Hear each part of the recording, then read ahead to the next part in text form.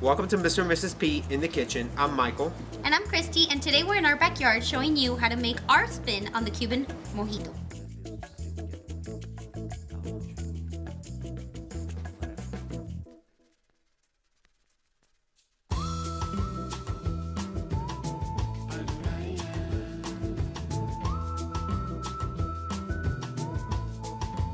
We're gonna start our mojito by adding half a cup of lemon juice,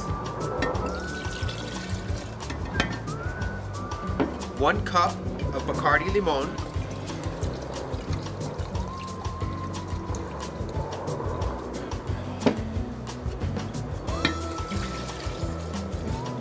and then we're gonna add half a cup of mint simple syrup. And if you don't know how to make your own mint simple syrup, we're gonna show you how.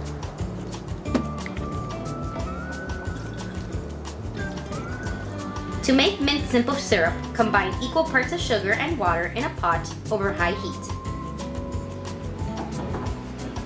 Then add one sprig of mint. We just added 2 cups of water and 2 cups of sugar. Give it a swirl and bring to a boil.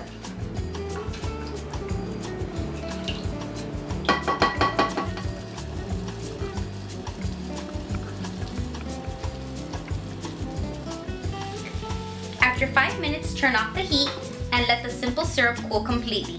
Store in a container and cool in the fridge.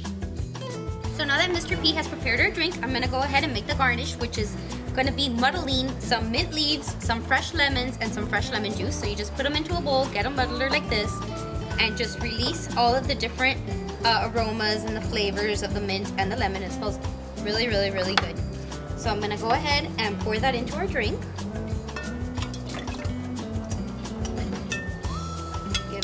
Stir. And we're done. Okay, so now we're ready to serve our drink, but before doing that, I wanna make the glass look really pretty. So I'm gonna get some lemon, a lemon wedge, and just rub it around the edge of your glass. And this is gonna be the glue for your sugar. And then I have a plate here full of pure sugar. And you just dip it in there, move it around. See, and then you have this nice pretty edge of sugar.